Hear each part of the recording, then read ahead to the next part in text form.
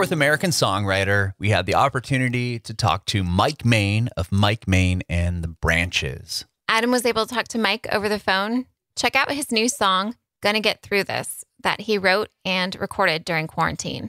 Make sure to check out our YouTube channel and Facebook page at Bringing It Backwards and follow us on Instagram and Twitter at Bringing Back Pod. We'd appreciate your support if you follow and subscribe to our podcast wherever you listen to podcasts. We're Bringing It Backwards with Mike Mains. Hey, how's it going, Adam? Great. How are you? I'm great, dude. I'm great. Cool. Well, I, I guess Tera told you what the podcast is about. Um, so I'll just start uh, from the top. I wanted to know uh, you are you guys from Michigan? You're from Michigan originally? Yeah, originally from Michigan. Band started there, and my my wife and I. So we're the founding members of the band, Shannon and I, and then we we have a group out of Charlotte. So that's kind of like our core bandmates. They all live down there, but uh, Shannon and I moved to Nashville back in October to to just continue pursuing our dream of making music. But I'm also a songwriter, so I write for and with other artists, and, as well as a producer. So I've been doing kind of a, a combination of pursuing the band as well as uh, some other opportunities too, and uh, we love it down here. That's awesome. Yeah, we were supposed to go out there actually next month, but due to COVID and everything, uh, our our plans got canceled. So hopefully soon we will be out to Nashville. but uh, yeah, man. Yeah, I know it sucks. You'll we were supposed to to be out here next month. get out here. Yeah, we'd love to. That'd be awesome. So, okay, so you, you you're born and raised in in Michigan. Tell me about like getting into music. What were you, what was the first instrument you learned how to play?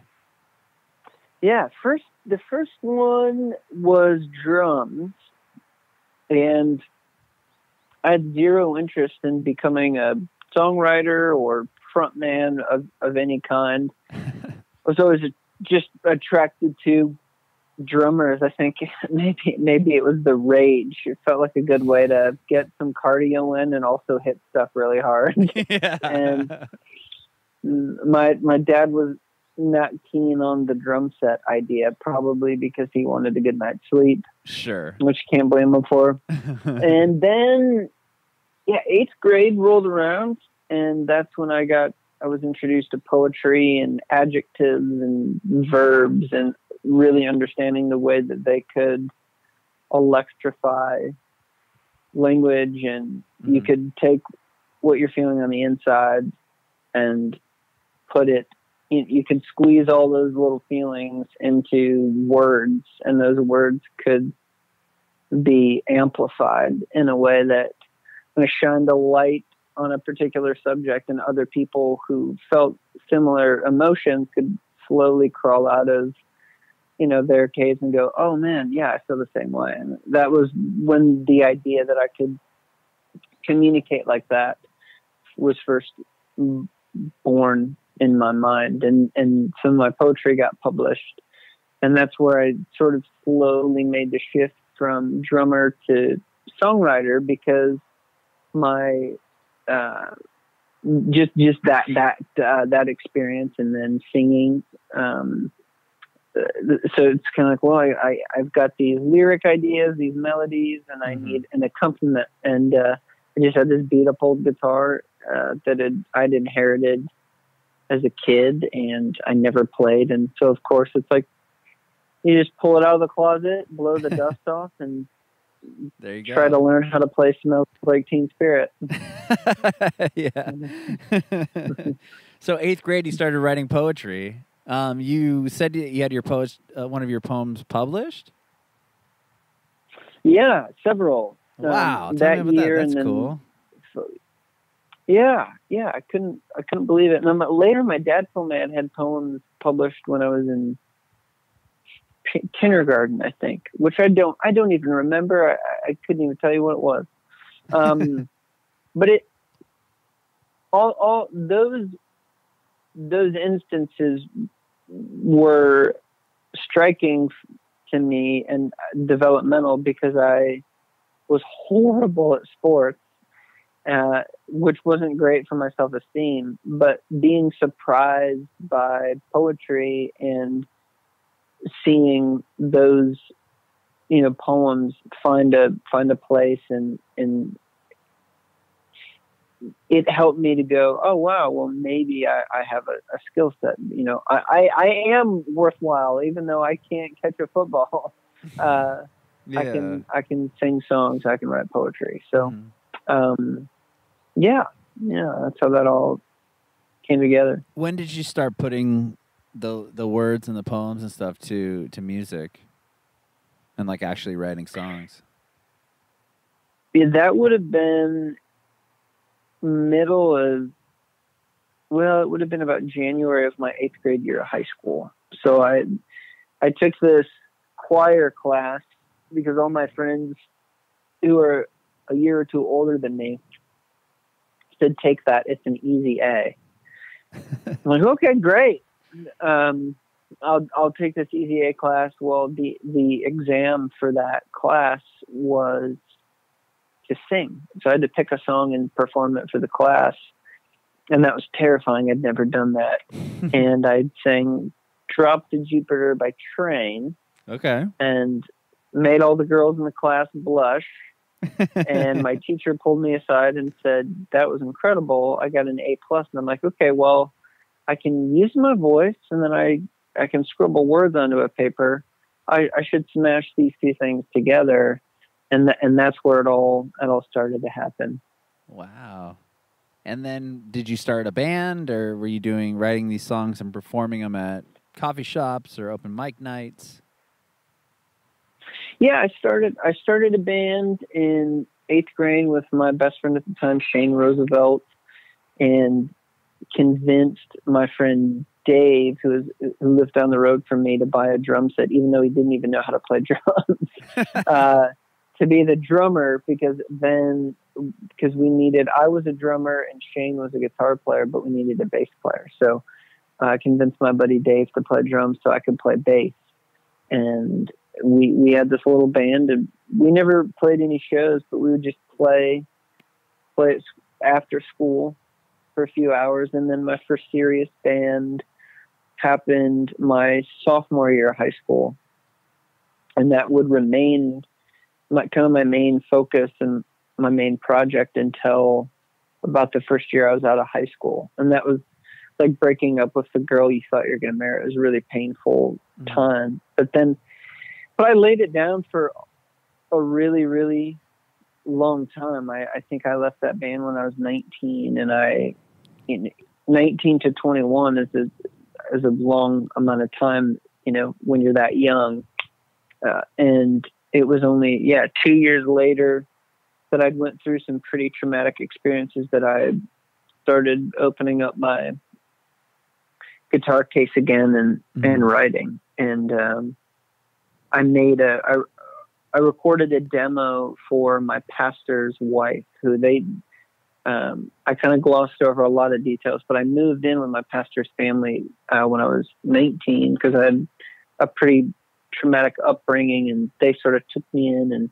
Mhm. adopted me. And I wrote his wife a song for Mother's Day and recorded it Mhm. and then like 12 other songs in the same night with with this friend that I made at church. And he just he had pulled me aside and said listen man like you need to be doing this. Like this is what you were put on earth to do. You should be pursuing this full time. So that was where it all like really started to change for me as far as like recognizing that I you know maybe I will pursue this again Mhm. um, and then I started not long after that. I, I relocated to Texas and and started what would become this band, Mike Mains and the Branches, and ha- haven't looked back since. Man, haven't Wow. looked back.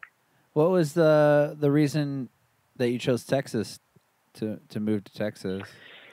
Yeah, so my my little sister had moved down there, and I was living outside of Lansing, Michigan at the time, and I was going through a bit of a faith crisis, and was was a part of this church where it was kind of like if you're going through a faith crisis, you know, you're you're dancing on the edges of Hell's Gates or Mhm. something, and and I, I I needed a I needed a bit of a a recess, and I I needed to be in a in a place I wasn't familiar with, so that I could kind of dive deep and do do a lot of work internally to sort a lot of those issues out, like guilt and shame, and and what are what what are those things? Why do I experience them? How do I process them? So that that drove me down to Texas. I got a job at a casino, working third shift, um, and I scribbled out what would become our first record just on little pieces of paper while I walked around the casino cashing people's jackpots. Really? And yeah, yeah, and formed a band down there. My wife was still in Michigan, and we would send ideas back and forth to each other. And then eventually, the band relocated to Michigan. We made our first record, and that's where it all really kind of we started making waves, and Mhm. we're getting wined and done by record labels, and uh, one of whom was Tooth and Nail, who we, we, we later signed with, and Mhm. um, just kept putting out music, touring, and you know it's been about ten years, and we we've managed to to be able to make this our our job, and it's something we're extremely grateful for. You know, you.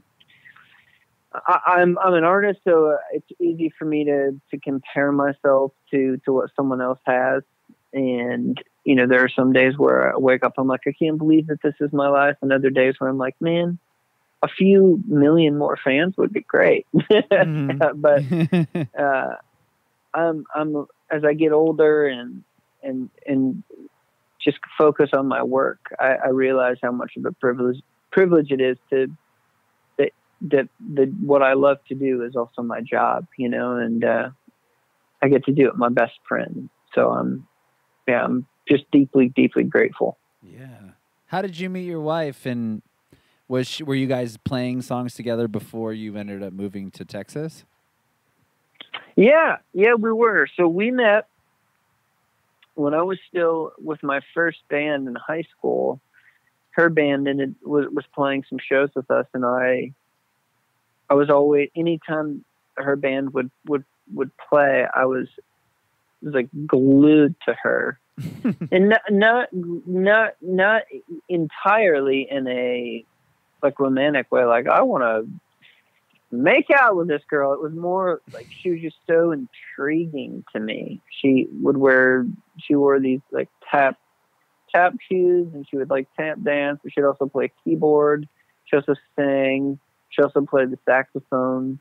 So she was like this like expression like expressionist. Like her her art was so and her stage presence was so theatrical uh, it just drew me in because I could tell that it was it was it was like poetry and it was so sincere Mhm. and I I I just wanted to I wanted to know everything there was to know about her and uh, when I left my band kind of my you know breaking up with my the girl I thought I was going to marry band uh, her band asked me to come and and sing for them. And i i accepted. And her and i were just really really good friends during the whole time we were in that band together. And we both left around the same kind of six month to year period and then stayed in touch and i when i had a show at a coffee shop i asked her to play piano and and sing with me and she did and then that was sort of the beginning of uh, me slowly waking up to the idea that I was also in love with her. yeah. uh, Very cool. and she was, yeah, yeah, So then you moved to Texas. You guys kept in touch, and you were sending what songs back and forth to each other. yeah, yeah. And then how did you get the rest of the people in, in the branches and uh, you know put that first? Is the first record you put out home? Yeah, yep, yep. Okay, so yeah, tell me about that that album and and and how you know you got the other members and how how that came together.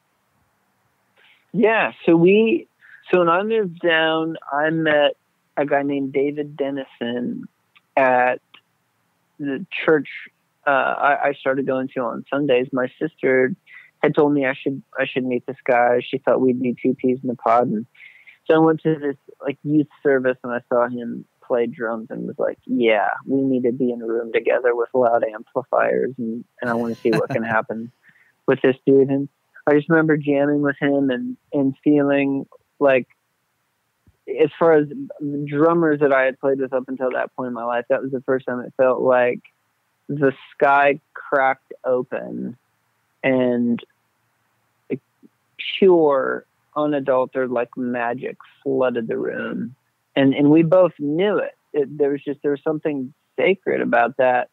Like we'd both been dead our entire lives and somebody like resurrected us and woke us up and was like, thou shalt play music. Um, and so from that, from that first jam session, I mean, there was just never any doubt in my mind we had something truly special.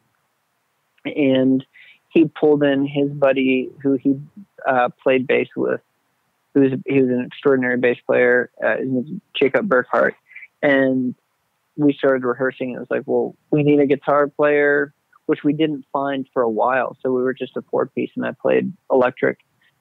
Hmm. Shannon flew down you would think the guitarist would and, probably be the easier one to find. yeah, you know what exactly. I mean. Like the drummer is always usually yeah. the guy. Like the drummer's in like nine bands, but not the exactly the guitar players.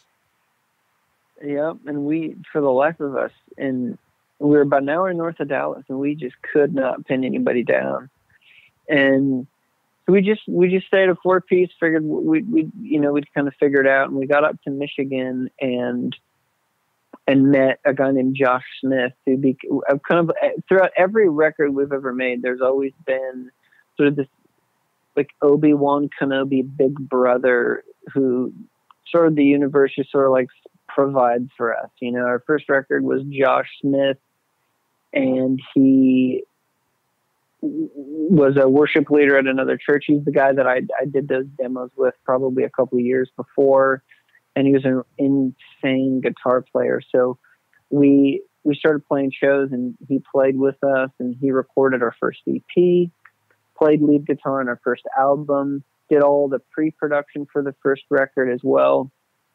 We, I mean, and we really sweated it out. Um, and so that was the, that was kind of the core band, and then things, you know, as they always do, you know, kind of just slowly started to fall apart. Mm-hmm. In that, we we got a lot of record deals, but we just we decided not to sign any of them because we didn't want to give up our masters and we didn't want to give up our publishing. And so, you know, there's good money if you can land a good record deal and get a big advance. But we we kind of came into the industry and started about two years before Spotify came into play. So we had like a couple of years of touring and selling like 50 CDs a night mm. and mm-hmm. making like 500 to a thousand dollars a night in like just, just in CD sales. Wow. Um, yeah, it was crazy. So good, great, great money. And things like really started happening, but we, we just thought, well, let's own our masters. Let's own all of our music and we'll just kind of keep going and keep going until we, we feel like the time is right. But there wasn't a lot of money to go around. We were all still working other jobs, and um, our bass player Burke decided to to kind of move on, go back to school, get married. David stuck with us for about another year and a half, and then left for seminary. So when our when our second record was made, it was it was written during a time where I had I was really struggling to accept the fact that what we started you know, was a four piece band and that's all I ever wanted it to be. I didn't want anyone to go. I, that that's the band that I wanted. We were, we were a, a special, special piece. Uh, but our second record kind of taught me to let go of that narrative and, and, and help both Shannon and myself realize we're a, we're a band that is fronted by Shannon and I. We're kind of like the duo and then we have this rotating rotating cast of like really really c- close friends that are just available to play. Um, and once we accepted that, um, you know, fast forward a few years later, we're now on our third album, and as we've just kind of embraced like whoever can play with us will play with us and full. We've had this band with us for a year now, and uh, they're incredible guys. They're all high caliber musicians out of Charlotte, North Carolina. They play for John Mark McMillan and uh, a few other really, really, really great bands. And um, so we just try to take good care of them and and yeah, yeah. Mhm. I feel like I'm talking too much. No, no, that's I I love it. So good. So so home was the one that started attracting attention from record labels and stuff. You said, yep, yep. and like labels were like the majors. Like who was coming and and knocking at your door, and how are you? Yeah, you? we're talking to Col- Columbia, wow. um, which was crazy, you know, um, and Tooth and Nail, Mono versus Stereo, um, a subsidiary of Capitol, and uh, a few others, and uh, we just we just walked. And then when it came time to make our second record, we had um, another uh, Tooth and Nail kind of came back around again. It still just didn't didn't feel right. Um, and we, we so we just we passed again and um, and then the third third time around we weren't we weren't really sure anyone would you know would care. We had kind of been through a lot of stuff. It'd been about five years since we put an album out. Both my wife and i at that time were considering just kind of you know selling the assets and I was going to go back to school to to become a counselor and and and completely change my my life path. And um I, just on a whim I sent these these songs that we'd recorded to Brandon Ebel from Tooth and Nail. Mhm. and maybe three weeks later I got a call from Adam Skatula who's our our A&R guy and said you know, I'd, I'd listen to the new demos. I think they're the best songs you've you've written to date, to date, and we really want to be a part of it. And it's like, all right, dude, you've been trying to get me to, to go on a date with you for for three albums now. Uh, I'm Yeah. gonna I'm gonna at least hear you out, you know. And Uh-huh. um, and you know, the, you know, rest is history. You know, we we did the deal, and I literally was texting them today, just saying, "Hey, man, thankful for you, and I hope you're well." So it it, it just feels like family, you know, and um, they've done a great job at creating, you know, momentum for our, for our band, and um, you know, we we're just really really thankful for for our team. hmm What was the decision um, on the third record to decide to go with Tooth and Nail? Like, yeah, I would say the the big one was the the marketing machine. Mm-hmm. You know, having so you know, Tooth and Nail has developed incredible acts over the last you know twenty years. Oh, yeah, it's kind of crazy, but they've been around. Yeah, like they've they've done an, done amazing amazing work, and you know I think they've done a great job of navigating the the way the industry has ebbed and flow throughout ebbed and flowed throughout the years, and we just we were kind of tapped out. We felt like you know we did our job really well, which is making a record we were proud of and and couldn't wait to share with people. But in terms of knowing how to market it and tell a compelling story and win new fans, we didn't know how to do that. It's like we'll, we'll go out on tour, we can go do that, you know, but that's our booking agent's job and our manager's job to kind of sort that stuff out. But we just didn't really know how to market and tell a great story, and and they did, they really did, and um, so that was the that was the appealing thing is to kind of give our music and put our music in the hands of of people who really cared about creating a platform for for uh, you know the artists they believed in. Mm-hmm. Yeah, and they've had some major, major artists over the years as well, Tooth and Nail. Yeah. I mean, that must be a really cool. It was probably pretty, you know, gratifying to sign with them after the third third album. I'm sure.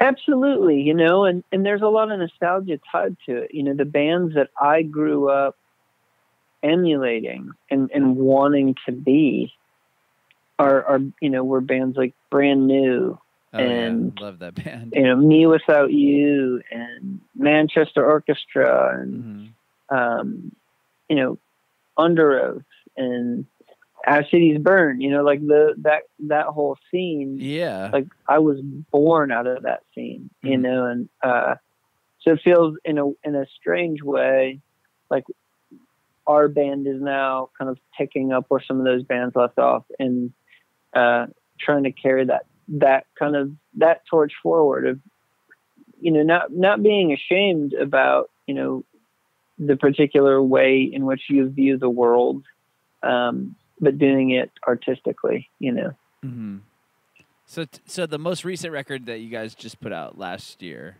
that w- that's the one on Mhm. Tooth and Nail, when we were in love. Yep, when we were in love. Yep, yep. Very cool. And did you guys have a chance to tour on that album at all, or was everything kind of shut down by that point?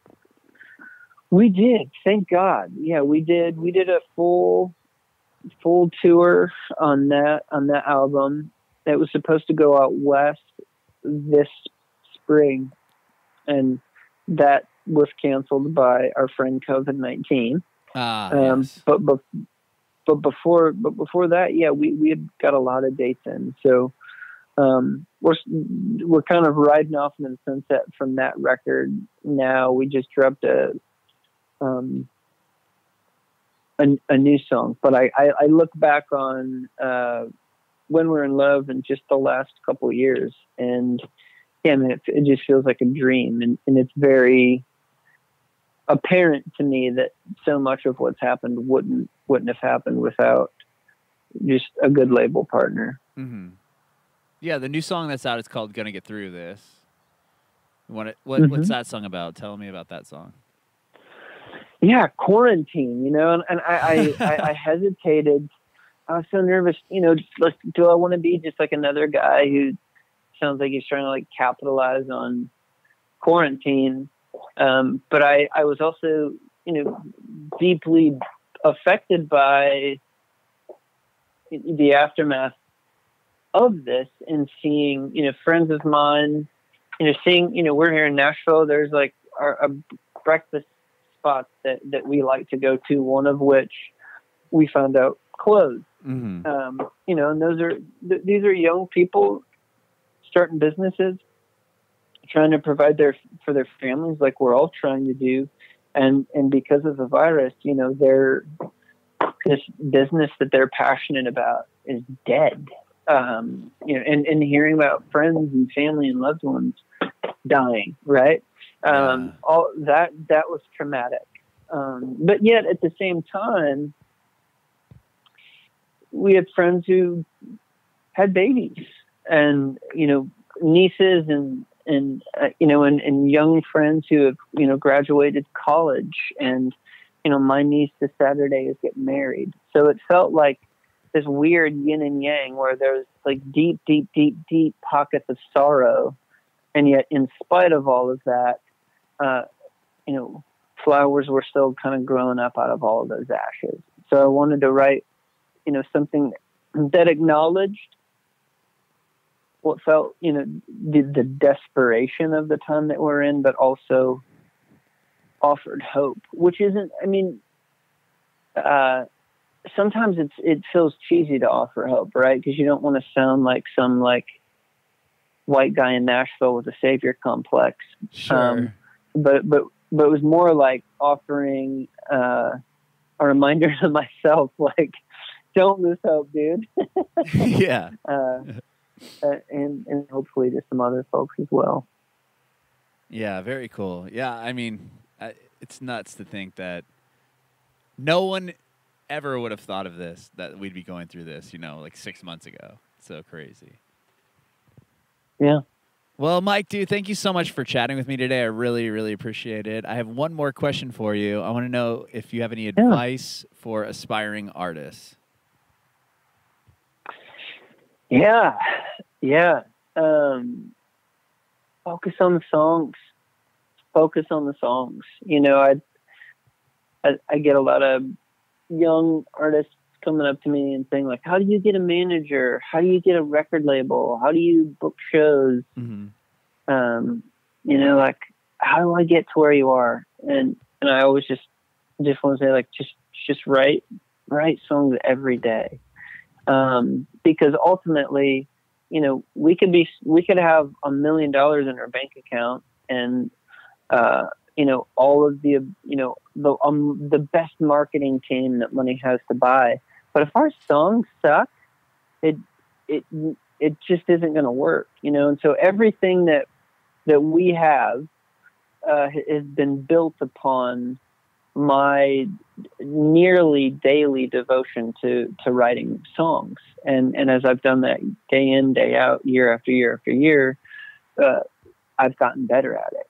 Um, and so that, that, like, you know, people are always kind of like, what's the secret? And it's like, the, there is no secret. It's like the same as, you know, if you want to be good at football, you got to show up to practice, and it's going to suck sometimes. Yeah. Um, but if you get really good, then then the scouts will come, and and uh, so that that's been that's been my my mantra from day one. And then I would also add to that, let the writing and and the thing that you really love to do, like let that be what brings you joy, not the outcome uh, let the creation of the song and the art um, let that be where you truly find your your joy and your peace. And and then as far as once it gets out into the world and marketed let let that worry about itself. It could blow up and be the next big thing or no one could care. In either way it doesn't matter. You just got to create for the sake of creating